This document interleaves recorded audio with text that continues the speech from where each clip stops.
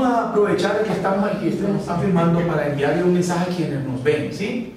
Entonces queremos decirle que esta sociedad, o bueno, es colectivo, ¿cómo le llamamos nosotros? Colectivo, colectivo. Llame, grupo, etcétera, así.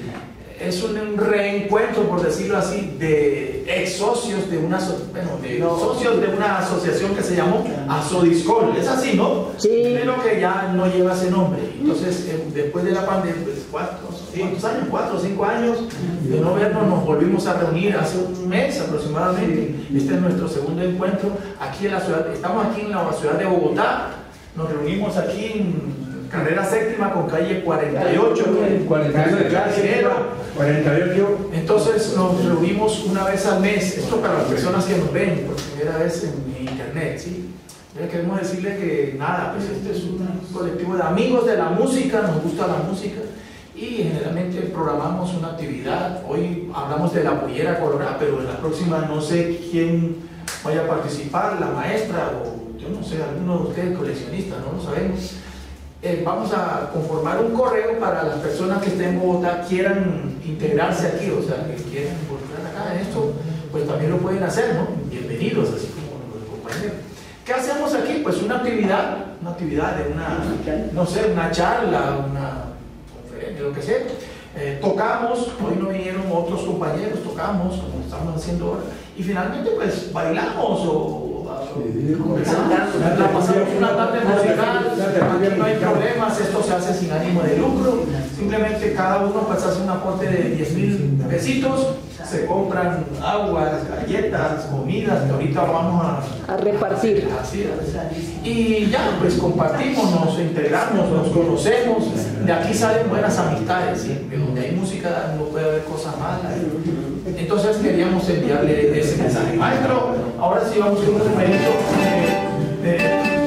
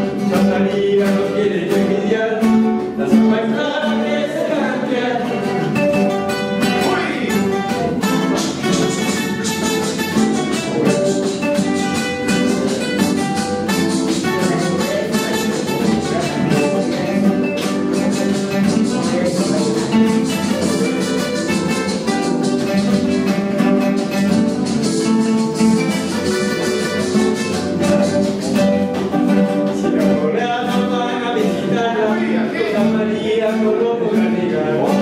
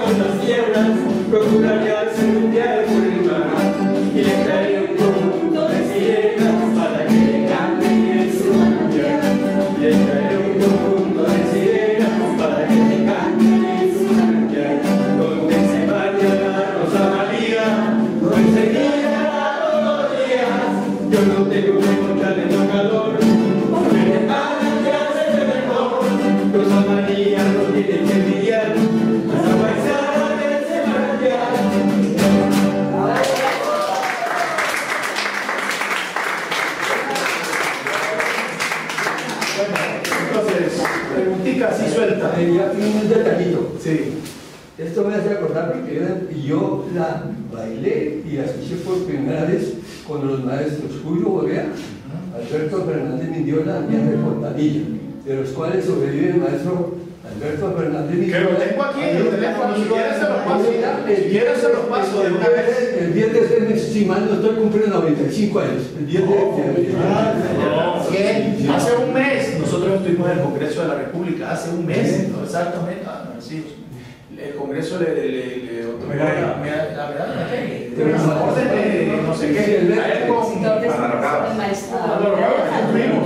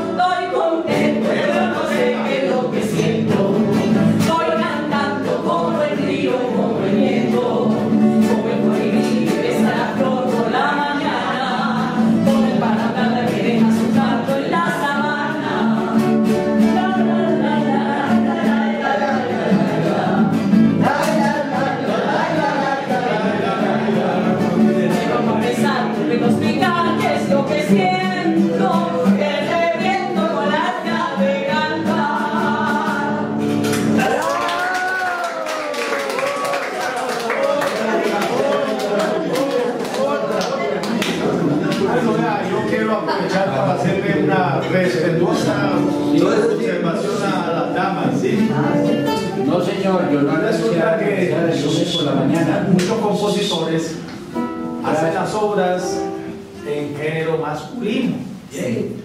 Pero entonces lo ideal, yo, yo soy hombre, yo no voy a decir, eh, ay, yo soy morena y soy, a no ser que es, eh, como Mario Gareña la gente creía que era, no. Mario Gareña cuando hizo Yo me llamo cumbia se refería a la cumbia, el femenino. Pero si yo soy hombre, yo no voy a decir estoy contenta, no, soy hombre.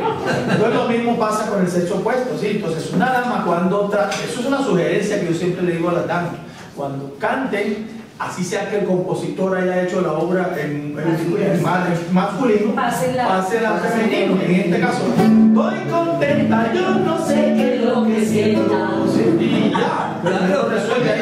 es lo que sientas. Es como una observación que yo siempre hago a las chicas, oiga, no canten como hombre, no canten como Femenino.